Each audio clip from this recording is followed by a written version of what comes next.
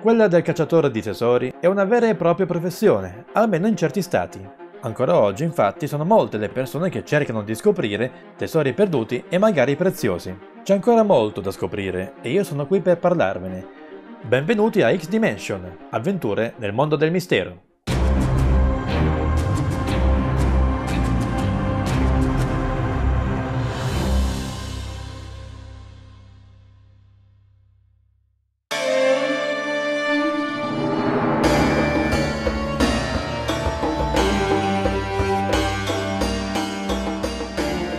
Gli studiosi, la maggior parte dei tesori e dei monumenti egizi sarebbe ancora da riportare alla luce. Sembra incredibile, viste le meraviglie che già sono state scoperte. Ogni giorno archeologi e cacciatori di tesori indagano e scavano, alla ricerca di oggetti preziosi, testimonianza del passato.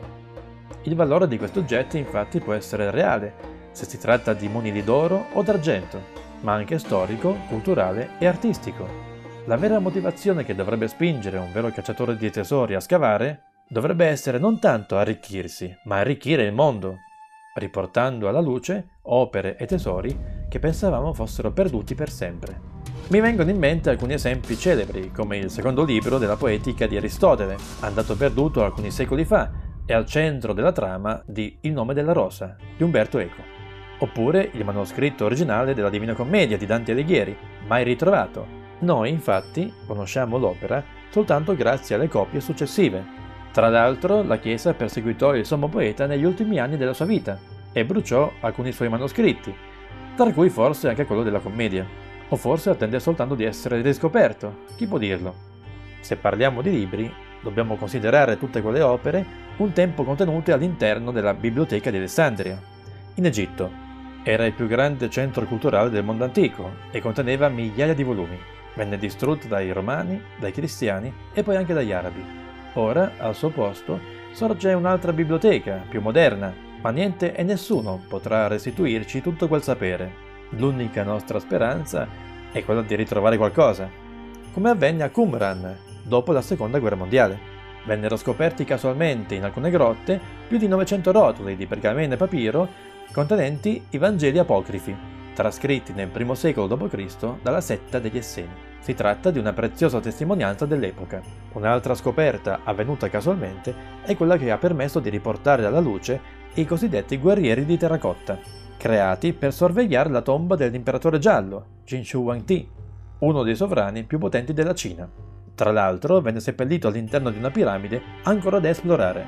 Il governo cinese infatti non ha ancora permesso agli archeologi di scavare, Chissà quali meraviglie potremmo trovare all'interno di quella tomba. Leggende cinesi ci parlano di un grande tesoro e di un gigantesco plastico dell'impero cinese, solcato da fiumi di mercurio, elemento connesso al concetto di immortalità.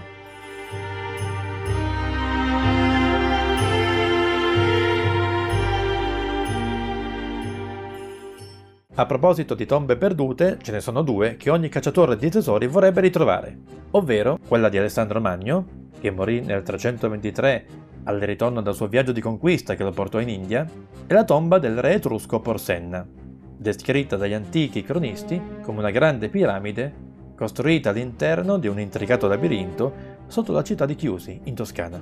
Inutile dire che entrambe le tombe potrebbero contenere al loro interno un tesoro dal valore inestimabile. Se pensiamo ai tesori nascosti, però, la prima cosa che potrebbe venirci in mente sono i pirati. Ma non solo.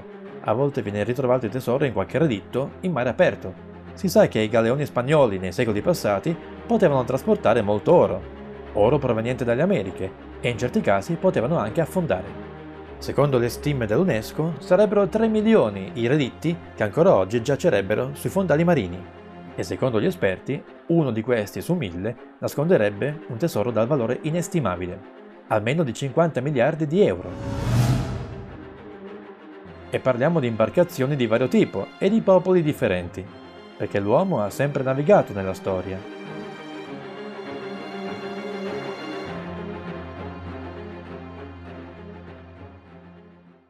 Ancora oggi, nel nostro piccolo, abbiamo l'istinto di nascondere i nostri valori per meglio custodirli. Nel corso dei secoli fecero la stessa cosa anche interi popoli, per motivi analoghi.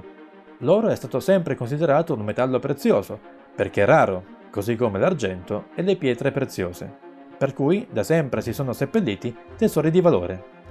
Nel mio libro, La ricerca della pietra filosofale, per esempio, parlo di alcuni tesori importanti da ritrovare anche qui in Italia. Il vero problema però è un altro. Nella nostra penisola ci sono troppi poteri forti che impediscono la ricerca indipendente. Qui i cacciatori di tesori sono considerati alla stregua di tombaroli, così anche come chi usa il metal detector. E questo è un vero peccato, perché si sa che alcune grandi scoperte sono state effettuate da persone comuni per caso. All'estero invece i cacciatori di tesori sono più fortunati e hanno meno problemi da risolvere, tant'è che per alcuni questo rappresenta una vera e propria professione.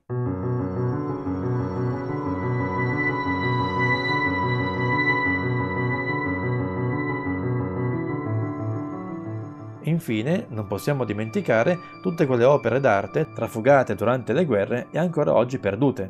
Forse solo poche persone ricorderanno Rodolfo Siviero, agente segreto e storico d'arte, attivo negli anni della Seconda Guerra Mondiale e negli anni seguenti, incaricato dal governo italiano di proteggere o recuperare tutte quelle opere d'arte trafugate dai nazisti durante la guerra. Fu un vero Indiana Jones italiano e recuperò moltissime opere tra cui anche l'Annunciazione del Beato Angelico. Ma il dipinto perduto dal valore maggiore è il concetto a tre di Jean Vermeer, dipinto nella seconda metà del XVII secolo e rubato nel 1990. Il suo valore è stimato 200 milioni di dollari ed è un vero record. Tra quelli dispersi è considerato il più prezioso in assoluto. Lo andiamo a cercare? Articolo 932 del Codice Civile. Tesoro è qualunque cosa mobile di pregio, nascosta o sotterrata, di cui nessuno può provare di essere proprietario. Il tesoro appartiene al proprietario del fondo in cui si trova. Se il tesoro è trovato nel fondo altrui, purché sia stato scoperto per solo effetto del caso, spetta per metà al proprietario del fondo e per metà al ritrovatore.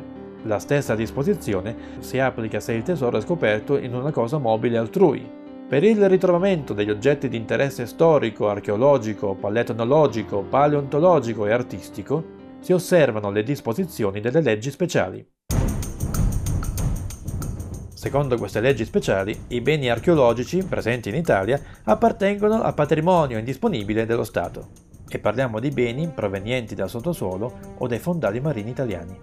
Praticamente ciò significa che ogni reperto archeologico e di appartenenza dello Stato, a meno che non si dimostri in maniera schiacciante che il bene in questione sia di provenienza straniera. Tutto questo per garantire la salvaguardia del patrimonio storico-artistico nazionale. Quindi, a questo punto conviene chiarire meglio il concetto di bene archeologico o culturale. Si tratta di tutte quelle cose mobili e immobili che presentano, secondo i criteri dati dalla normativa sui beni culturali, un interesse artistico, storico, archeologico archivistico, bibliografico, etnoantropologico, nonché un interesse quali testimonianze aventi valore di civiltà. Detto ciò, se doveste trovare o ereditare qualcosa di antico o di valore culturale sarebbe subito da denunciare alle autorità. Naturalmente parliamo di scoperte fortuite e casuali, perché in via teorica non sarebbero permesse in Italia attività di ricerca mirate al ritrovamento di tali beni. Queste sono le leggi italiane. Ma all'estero le cose vanno diversamente. Ricordiamo il caso di David Booth, che nel 2009 trovò con un metadetector in un campo in Scozia un tesoro dal valore di un milione di euro, antico più di 2000 anni. Il tesoro, pur avendo un valore archeologico, rimase a lui. Proprio come avviene in Italia, non trovate? Anche altri ebbero la sua stessa fortuna. Eric Lowes trovò in Inghilterra un tesoro composto da monete d'oro ed argento, gioielli e altri oggetti antichi per un valore complessivo di 3 milioni di dollari. Se non volete scavare perché lo trovate faticoso, potreste tentare la fortuna in qualche mercatino dell'usato. Un certo Michael Sparks comprò per 4 dollari in un mercatino una pergamena raffigurante una copia della dichiarazione di dipendenza e la rivendette a 2 milioni e mezzo di dollari. In un altro caso, un uomo di nome Terry Horton recuperò un quadro per pochi dollari. Solo in seguito si scoprì che si trattava di un quadro di grande valore del pittore Pollock e ricevette offerte di milioni di dollari. Dopotutto si può anche dire che a volte il più grande tesoro potremmo già avercelo sotto il naso. Spetta soltanto a noi riconoscerlo e saperne apprezzare il valore. Se volete partire alla ricerca di tesori nascosti, vi consigliamo di leggere La ricerca della pietra filosofale, in cui ho raccolto una lista di tesori ancora da ritrovare in Italia. Eremon Edizioni. Inoltre, Alla ricerca dei tesori sommersi di John Wright e Le isole dei tesori perduti di John Wright e Cameron Platt, entrambi pubblicati da PM Editori.